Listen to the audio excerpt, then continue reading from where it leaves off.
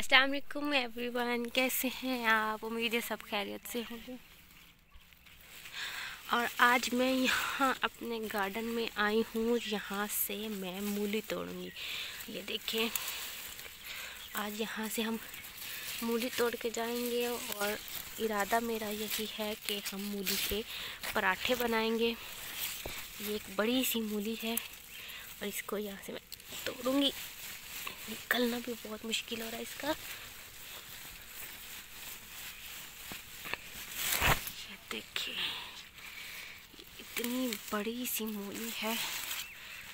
ये, अब इस मूली का पराठा बनाएँगे